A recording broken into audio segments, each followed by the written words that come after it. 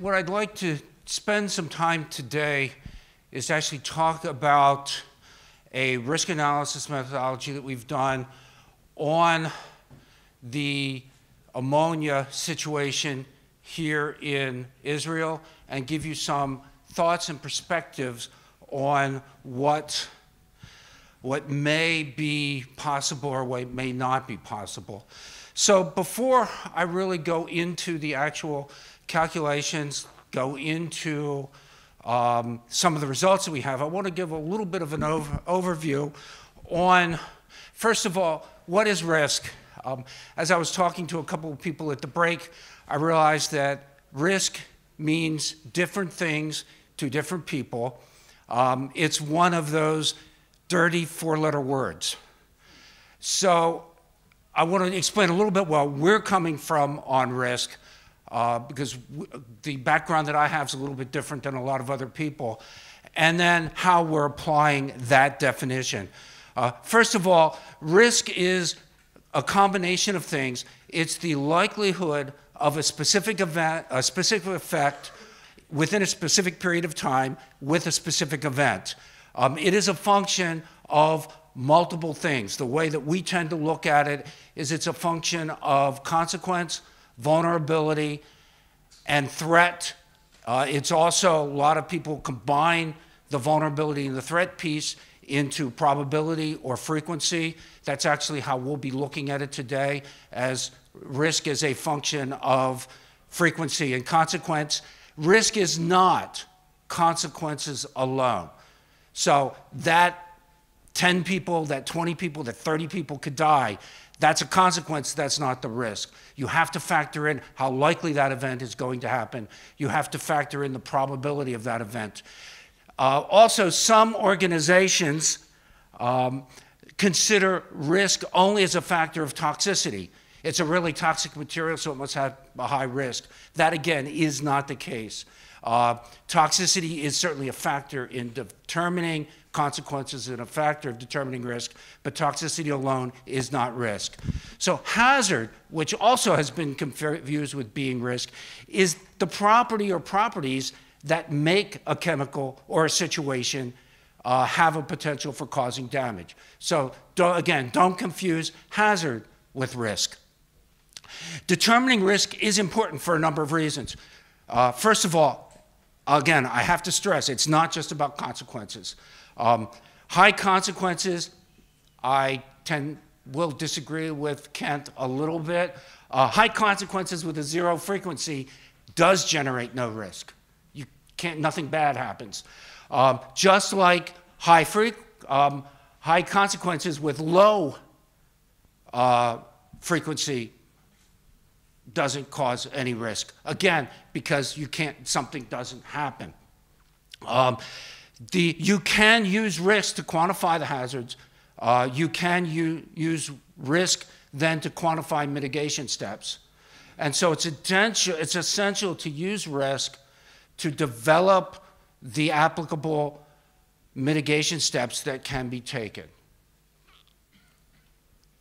So there are a number of ways to compute risk. Um, I'll talk about three right here. Kent showed a slide with one method, the risk management table. Um, that is a very valuable way of looking at risk.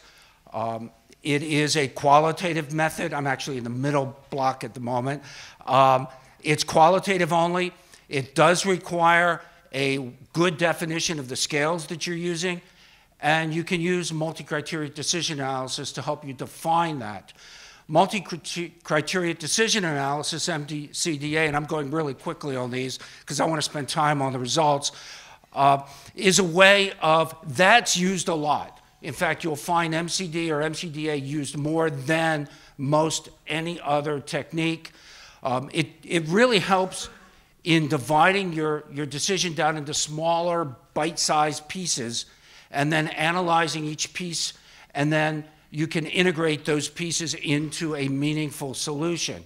Uh, it generally requires consensus building and agreement among multiple parties. Um, and although metrics are re required, MCD is a qualitative tool.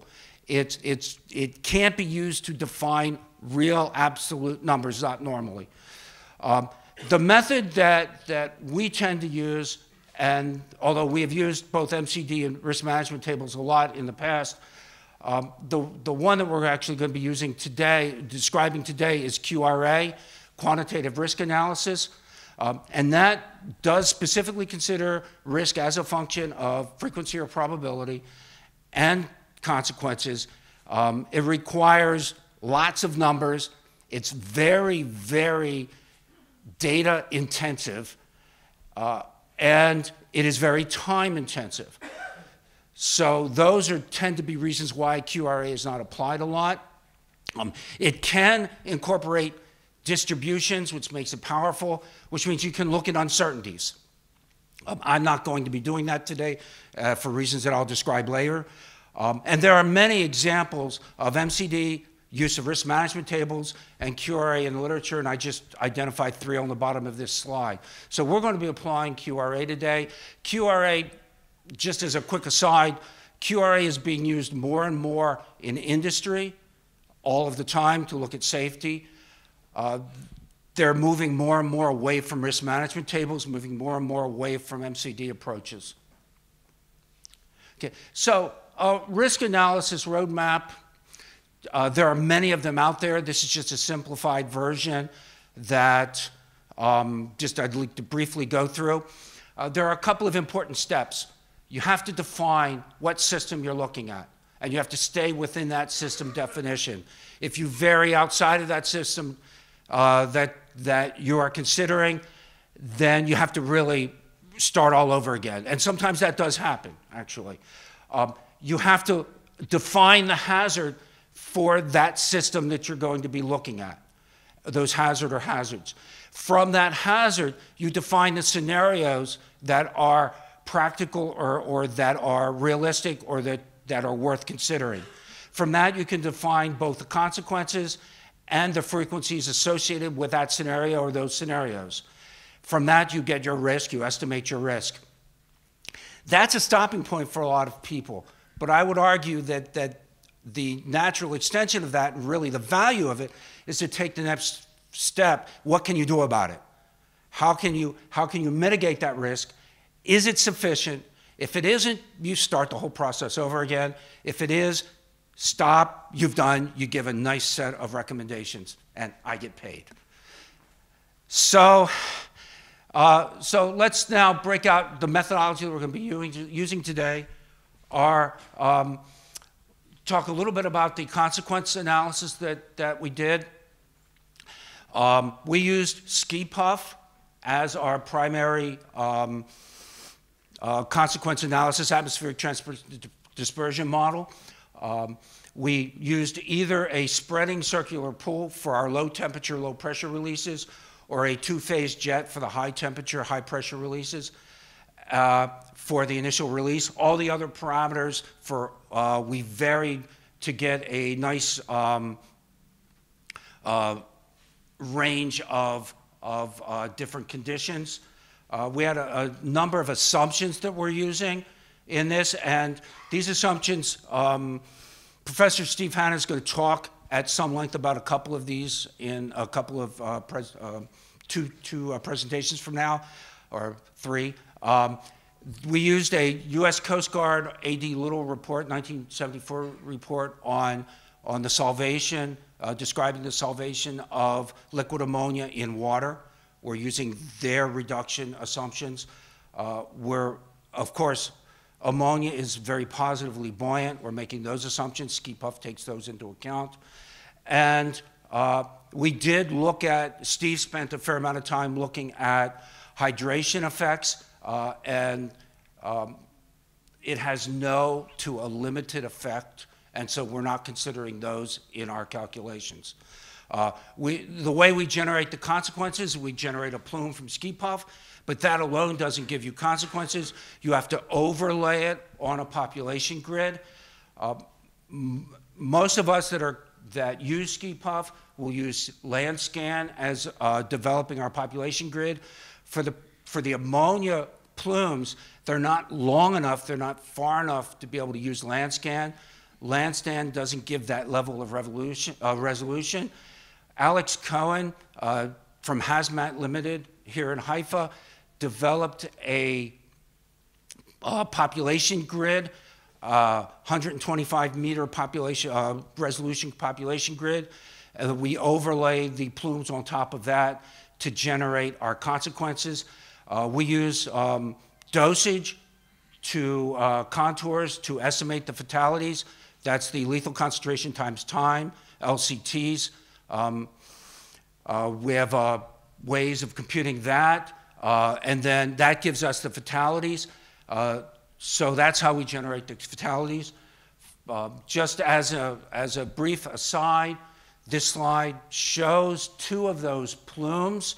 The top plume is a 2,500 ton ship release with a spreading pool. It is a, a low temperature cryogenic release out of, out of a, a shipboard tank.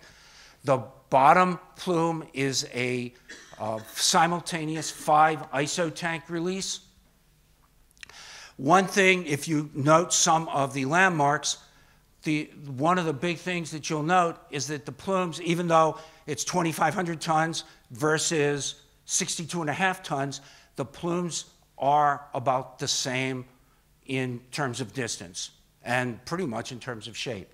This is because of the difference between a two-phase jet, high pressure, high temperature release, and a low temperature, low pressure release.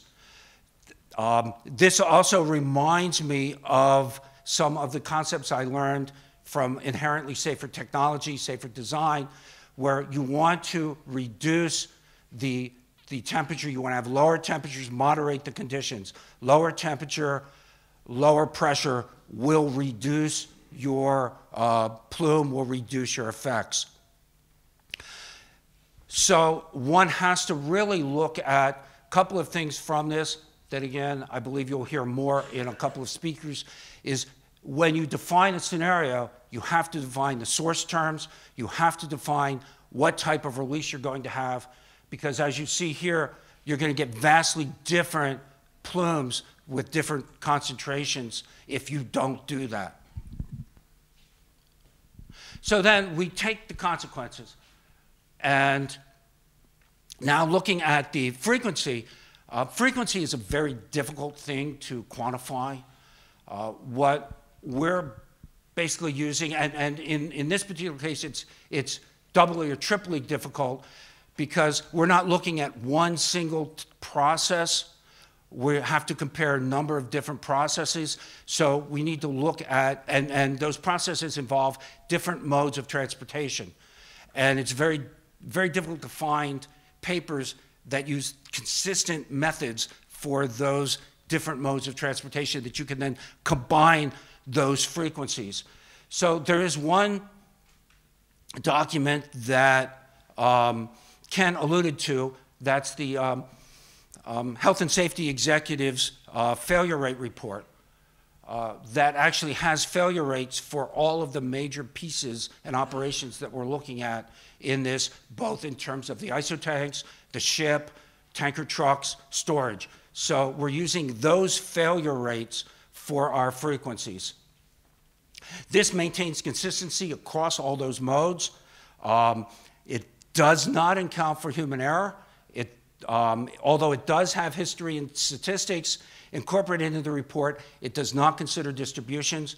So as much as I would like to show you uncertainty, I can't. Um, and that's one thing that we want to try to move forward to in the future is looking at this concept of uncertainty. So then what we do now is take those two, consequences and frequency together, uh, and we're going to use the basic equation that risk is basically a product of the frequency and the concentration of the consequence for a given operation, then sum that, those individual uh, risk components up to get the entire process risk. Now, that graphic on the right, we're going to be considering only steps one and two. We're not going to look at the risk communication or the mitigation of the risk today. All we're, all we're focusing on right now is trying to get to that risk step. And as I said, we're not including uncertainty, but the way that we've done the calculations, we could throw uncertainty in relatively easily. So I want to focus on two primary scenarios, although we're going to throw a couple of more at you um, as we go through the presentation. The two primary scenarios we're going to be looking at is the um, small vessel, 2,500 ton ship, unloading to a pipeline, running the pipeline at 25 tons per hour to a plant, then uh, using some of that ammonia at that plant, transporting the rest by tanker truck to another plant. The second scenario is bringing in ISO tanks and uh, delivering them either here at Haifa or at Ashdod, and then transporting them to the individual plants. So that's the basic scenarios that we're going to focus. We're going to vary the number of ISO tanks. We're going to look at specifically the, the, um, the ship-based um, um, process as well. So those two, uh, those two particular scenarios are described in columns uh, two and three of this chart. This is just to show you how we can, how we break up the, the overall process, the overall scenario into separate operations. Now, those operations are not specific. There's actually a lot that goes into each of those. But this is a way of trying to keep it somewhat simple, but at the same time get enough detail that you can actually make some, some um, conclusions, draw some conclusions. And those, the check marks are those operations that are pertinent to that particular scenario or process. So, the what?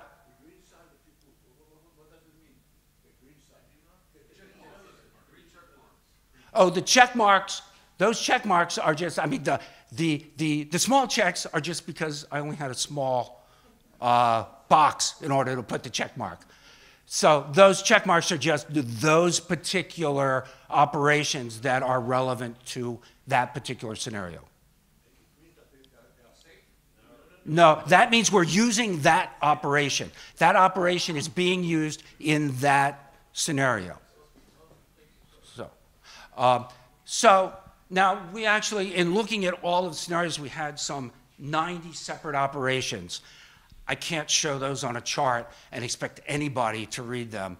So for, for the main ones that we're going to be focusing on, which are ISO tanks, um, these are the primary operations that we're looking at. And so this is how basically we calculate the failure rate from the HSE report, uh, it by how many operations that we're using for that particular failure rate, calculate the likelihood, uh, compute consequences from SCIPUFF, multiply them together, and we get our risk score for that particular operation. And yes, I know you would love to spend some time on it, and if I had two hours or after my presentation, I'd be happy to have anybody uh, go through this. I have these in both hard copy, I know. That's the problem. Uh, so let's get into the results. So the results, um, we can, and, and this is the only slide that I'll show you the specific operations. We can take the, um, here's three scenarios. Uh, one which is the triad, the ship, pipeline, tanker truck, uh, and then two different uh, numbers of ISO tanks, 21 and 49. Uh, we can look at the risk for each of those operations, sum them all up, and we get a total composite risk. Uh, the total composite risk then, um, I can't deal in absolute risk because a lot of people uh, get upset with that and it really it's difficult to, to comprehend. So let's look at the second line, which is the relative risk. The relative risk basically shows that the, the ISO tanks are higher in risk than the triad.